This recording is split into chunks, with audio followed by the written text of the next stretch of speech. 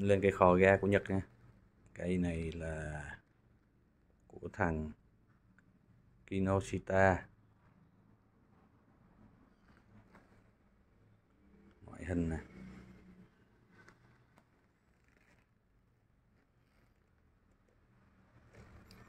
Bằng đồng nha.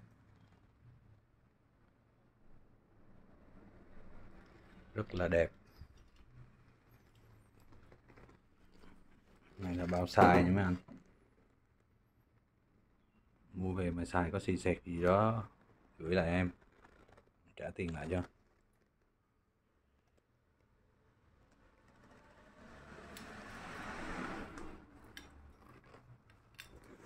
Hai ống.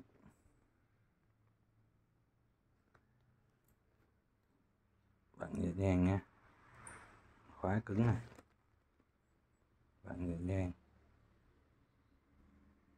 khá cứng ha.